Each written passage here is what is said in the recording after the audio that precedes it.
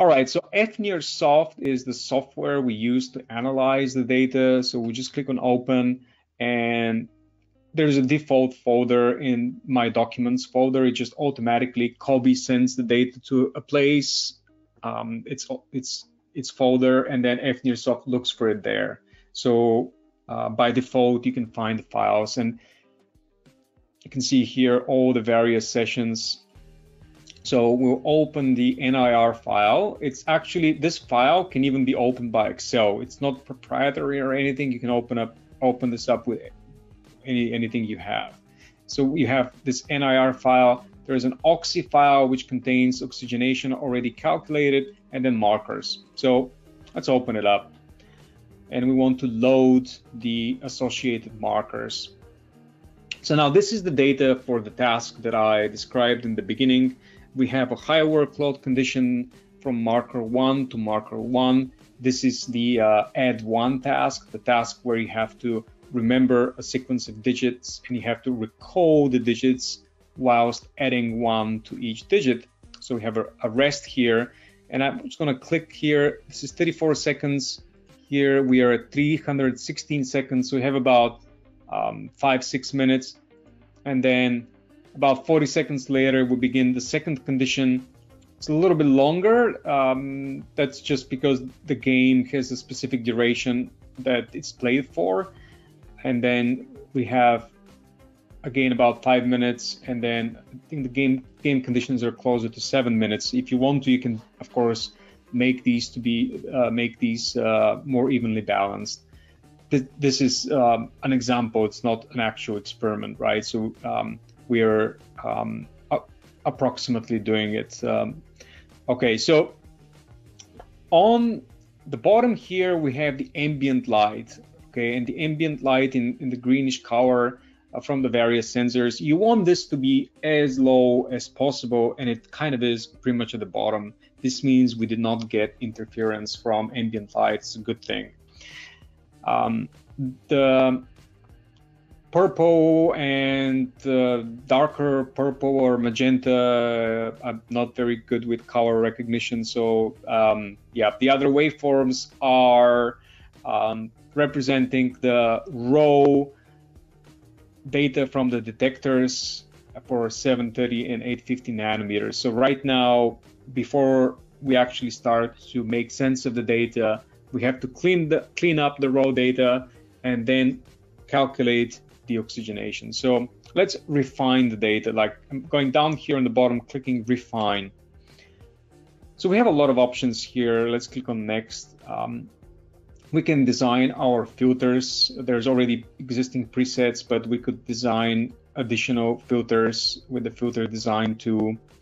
Um, and uh, I'll, in this case, I'll probably just use the one of the existing ones for the 10 hertz data that we have. So the, the imager is working at 10 hertz. The FIR filter, it's a low pass filter that we use to filter out hemodynamic uh, components of the signal like um, uh, cardiovascular and respiratory artifacts. So um, if we apply this, we'll remove those.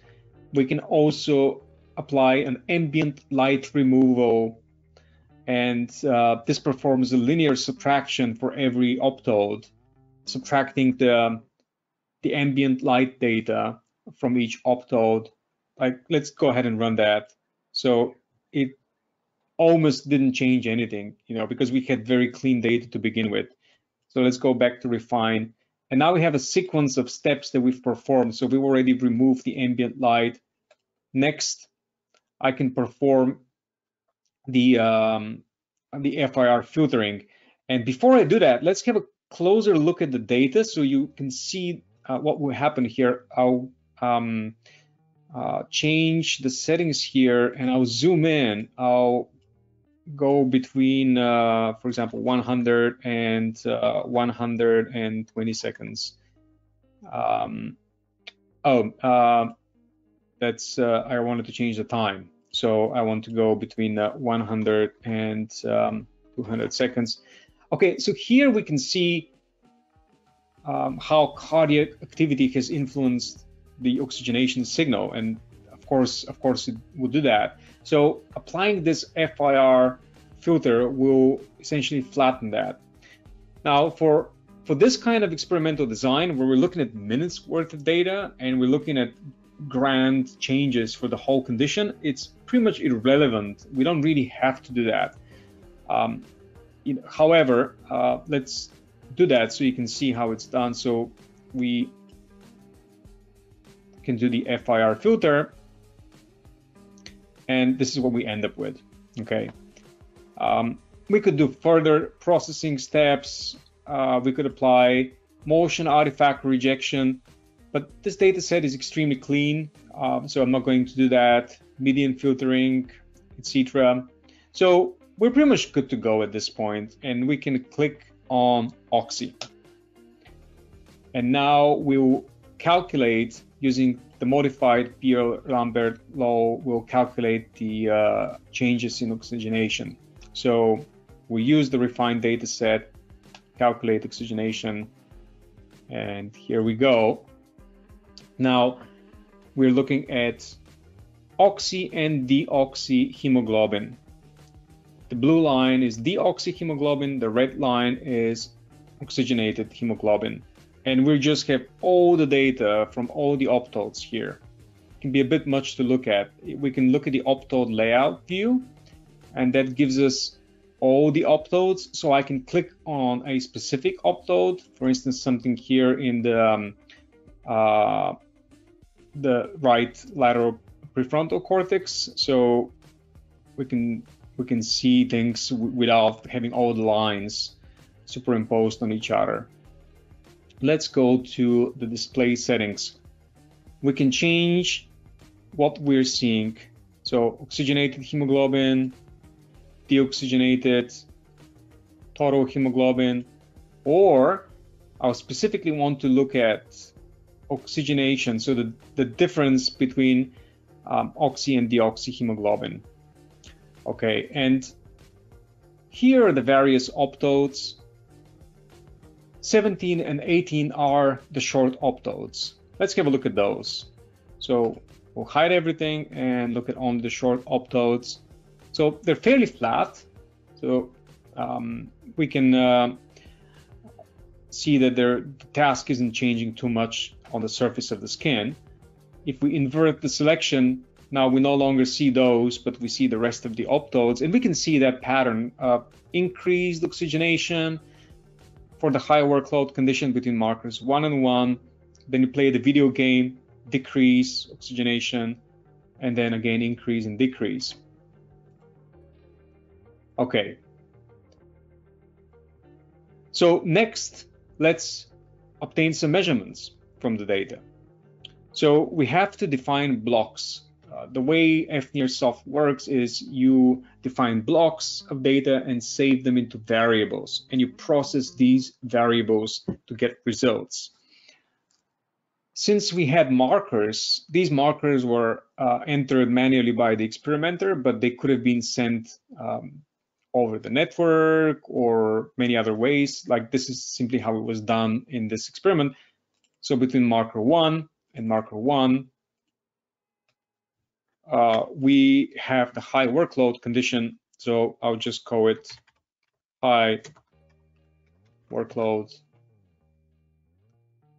or let's make it simple, just call it high, and uh, run and save. And now we can see here the blocks, okay, and then off of the space defined between markers 2 and marker 2, we have the low workload condition.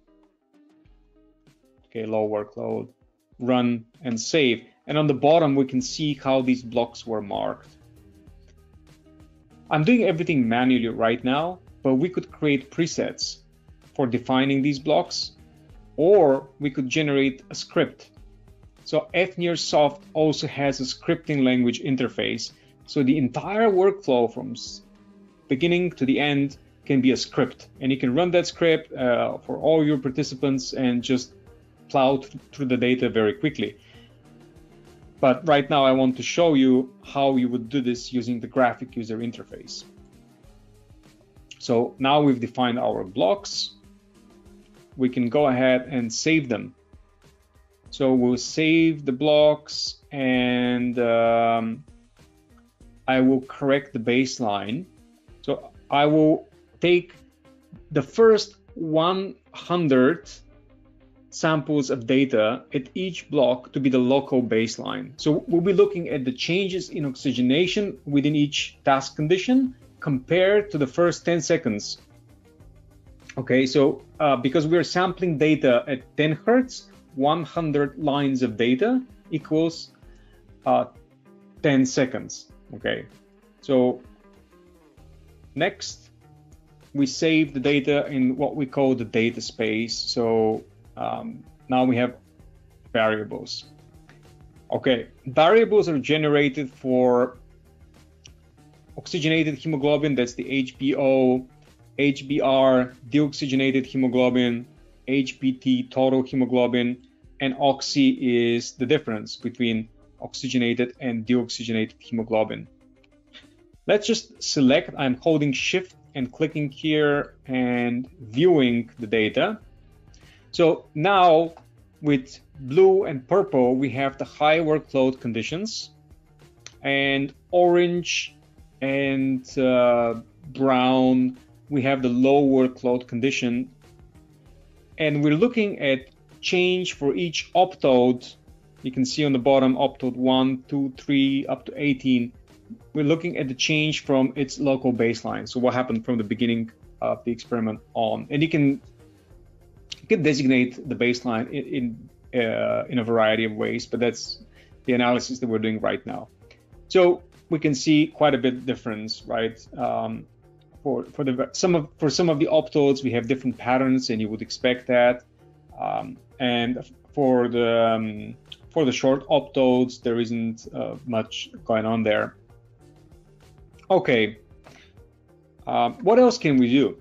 So uh, we've generated this sort of view, but we can process the data in here. So we can take those variables. For instance, we can take um, these are the two high oxygenation variables. Let's put them in here. And we can perform actions on them. So we can perform temporal processing. So let's do the mean within the blocks. Okay, save that and uh, we'll call this high, uh, high workloads. Okay, let's execute. And we'll do the same for the low workload conditions. So clear the variables and now take low workload condition, select, change here the name of the resulting variable to low, go back to the data space, and now we have these um, high and low ones. Oh, yeah, I didn't really do what I was uh, what I wanted to do. Hold on a second. Uh, let's go back to the process here. So uh, let's change the action. Uh, so we actually uh, wanted to do the um, the mean across the blocks here, not within the block. So we essentially end up with the same thing when you do that. So let's do the mean um, within the blocks. So um, so being uh, um, across the blocks, mean within the blocks. Hold on a second. So temporal mean. Let's clear the, var the variables that we already have first of all. Okay, let's go ahead and delete those, delete the selected variables. Okay, we come back here to the process and add them again. Okay, so block one and block two, select and remove. Uh, let's do the actions here. So um, we want to do the processing, averaging, and uh, mean across the blocks.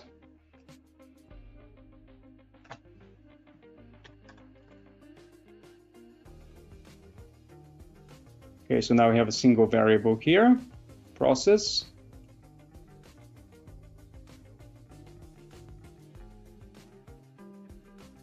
Okay.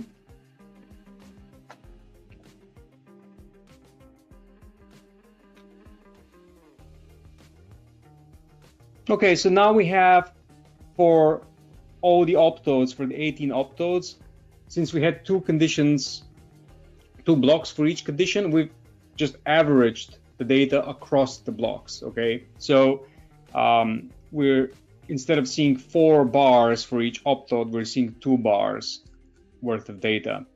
And we can take this a step further.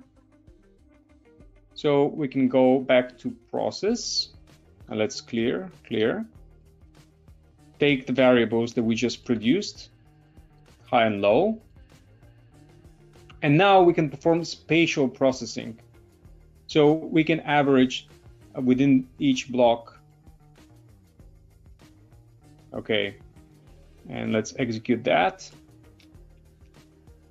And let's view. So again, we have the high workload in purple and the blue workload, uh, low workload in blue. Okay, that's not, of course, typically what would happen. You would have data from many participants. And so you have all these variables. And once you run the experiment, you would save the variables. And then when you have data from 10, 20, uh, however many participants you're running, you would then load variables. Okay, so we would save the variables after each participant, and then afterwards we will load all the variables. And when we do that, we can perform statistical analysis right within the software. So we can do um, t-test, ANOVA, etc. But you need more data to do that. One more thing I want to show you is the topograph. So within the software, we can load a variable. So I'll load uh, changes in oxygenation for one of the high workload conditions. And uh, whoops. Okay, a lot of windows at the moment. And uh, we'll overlay that onto the brain. And we can change thresholds here if we need to. Uh, we can play it back so this is the time course of the condition. We can accelerate it, for instance, like accelerate it five times. So we can see how the oxygenation was changing. We can generate a video out of that. But typically what you would do is when you have all these variables from the experiment, you would calculate variables that represent the statistically significant uh, changes and you would display those. So then this sort of utility becomes really uh, much more meaningful. Right now, it's just illustrative, so we can see what happened as the experiment went on. In the beginning, uh, not much, and then it just kept increasing.